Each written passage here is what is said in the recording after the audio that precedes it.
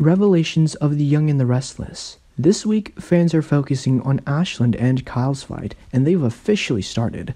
Ashland was planning to return to Genoa City, however, under the guise of a business meeting, Kyle was ready for the first fight of his life.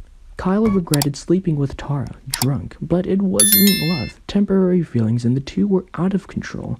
In a preview for next week, we see Ashland go straight out and ask, Have you slept with my wife?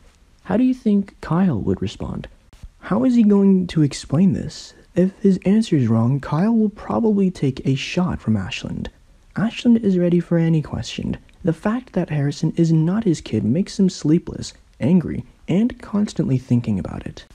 I hope this is the moment for when Kyle stepped up and took responsibility for what happened. Kyle has grown up, and he needs to be responsible for all that he does and done. Take your stance and tell him, Kyle. Every mistake has a solution.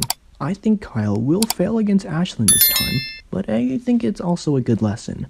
Ashland will teach Kyle what it means to be a grown man. There's some information that Kyle will take back Harrison's rights. The boy will no longer live with Ashland because he is not the biological father. But will Tara agree? How long will this lawsuit last?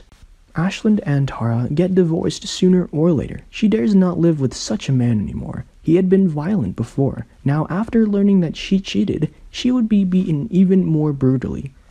After the divorce, whether Kyle will be responsible for what happened, will he marry Tara and live with Harrison as a family? It was reported that Kyle promised Tara that he would marry her, but it took him time to explain to Summer. Kyle wanted to take responsibility for his son, but should she do the same?